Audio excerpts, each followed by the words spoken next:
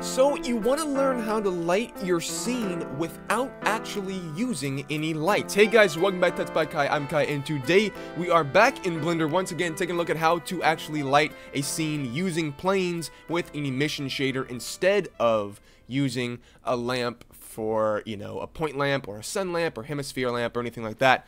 Um, it has a much softer much nicer effect than a lamp does. So let's get started really quickly. As you can see, if it's zero on my numpad, we can go into the camera's view, and we have a very nice scene set up here with Suzanne, the monkey, and uh, we have this point lamp, the default point lamp that Blender always comes with. If I go ahead, we're in Blender Render right now. If I go ahead and go to uh, Render Viewport Shading, you can see how pretty much disgusting that is. It's not it's not good at all. But of course, once again, this is Blender Render. If I switch on over to Cycles, it gets a little bit better as you can see. I'm going to go ahead and take this opportunity to uh, put on bordered so it only renders what's in the camera and I'm also going to go ahead hit use nodes on my background and drop that to solid black. You can see these are all of the spaces the light is hitting. So we're getting a little bit, let me move that cursor. We're getting a little, we're getting a lot on the top of her head, on her, uh, on our eyebrows here, her arcs on her eyes, a lot on her, uh, on her left ear, our right side,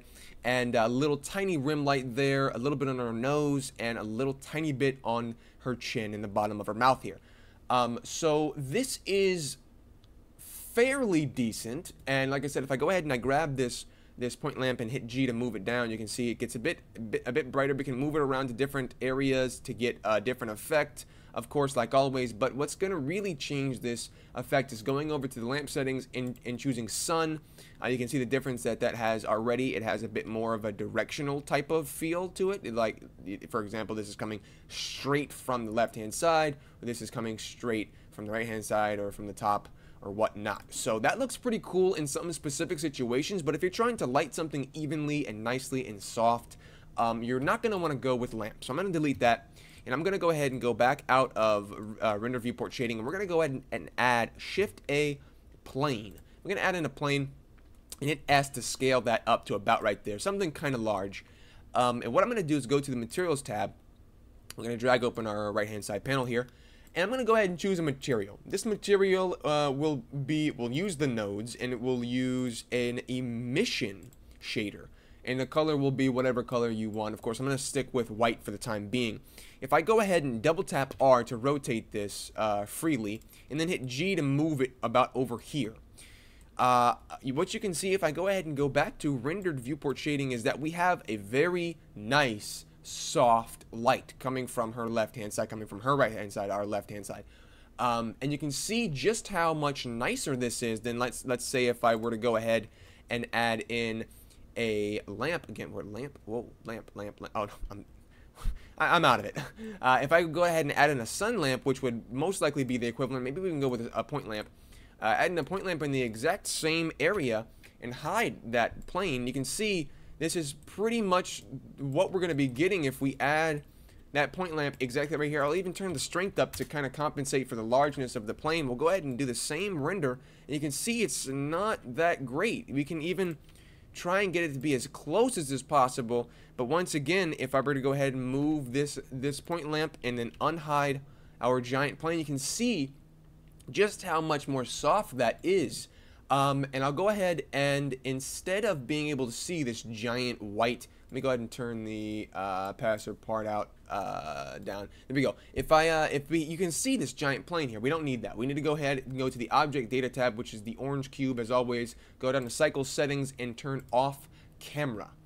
Um, and and also shadow if you're using you know shadows and if if there's any way that that could be emitted onto something but camera and shadow, what we're going to do. So you can see just how soft and realistic this lighting is. It's actually very, very gorgeous. If I go ahead and hit Shift D while holding down our, while selecting our lamp, you can see I can duplicate that lamp, that, that plane, sorry, and move it to the other side. And now we have a very soft, very even light on our monkey head. I can go ahead and, and rotate these around so we get a bit more of a uh, rim light. Maybe I'm going to put this right behind her and kind of get that coming off the back of her. Um, you can see if I were to go ahead and take a look at this now, you can see we have much more of a rim light on the backhand side. If I go ahead and get rid of this first plane altogether, you can see we have just a rim light, which is very nice looking. Um, but I go ahead and add that other plane back in. You can see we have something quite nice. If you want to change the color or intensity of a specific plane by itself, you will actually have to create a new instance of the material since obviously it's working off of the same material. Um, it's not a lamp, it's it's an, it's the same material. So they're both going off of the same first material. I call this plane 1 and now you can see both of the planes are using plane 1 to fix this. We'll go ahead and hit 3 right there and it'll duplicate that uh, material and I'll type plane 2 and now if we swap back and forth you can see we have plane 1 and plane 2 separately. I go ahead and change the rim light color to a yellow, um, something like that. And the left hand side, uh, we'll duplicate this, uh, this left hand side once again, and we'll rotate it just a little bit. Um, and then I'll hit the 3 once again, and we'll change this to plane 3. And we'll change this color to a blue, and the first one will be uh, orange. No, we'll do, we'll do pink. No, we'll do, eh, We'll do we'll do like an orangish red. Yeah, sure. Um, and if we give this a render, you can see we have all three of those different colors. The orange from the left, the blue from the right, and the white from the back are all merging together, which is really, really nice uh, together. So, I hope you guys enjoyed this very quick and very simple tutorial on how to create a bit more soft, realistic light in your scene. It's insane. So I guys, I hope I hope you guys learned something new. I hope you guys will use this technique to your advantage when you're lighting your scenes. I'll see you guys in the next tutorial, but until then, bye bye.